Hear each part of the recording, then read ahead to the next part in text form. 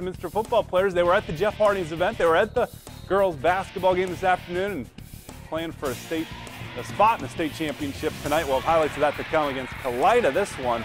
Second quarter, Allison Recker, nice move. Kalida up one at the break. Third quarter, Logan Arnold off the dribble. She the FCA there. Minster's back up by one. Other end, Jacqueline Gardner. She had 12 points. Easy lay-in for Jackie.